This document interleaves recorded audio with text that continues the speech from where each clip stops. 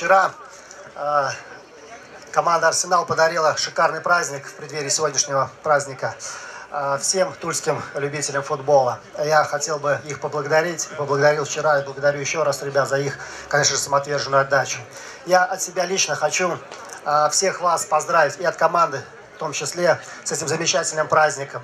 Хочу всем вам пожелать, чтобы э, у нас никогда, у нас у всех никогда не пропадало желание трудиться во благо тульского народа, во благо Тульской области, чтобы у нас никогда не пропадала вера в наше светлое будущее, в будущее Тульской области, будущее э, нашего тульского народа. И я хотел бы пожелать, чтобы все мы понимали и осознавали, что только благодаря огромному трудолюбию, э, э, сверхусилием наша жизнь будет более благополучной и более успешным. С праздником, друзья! Спасибо!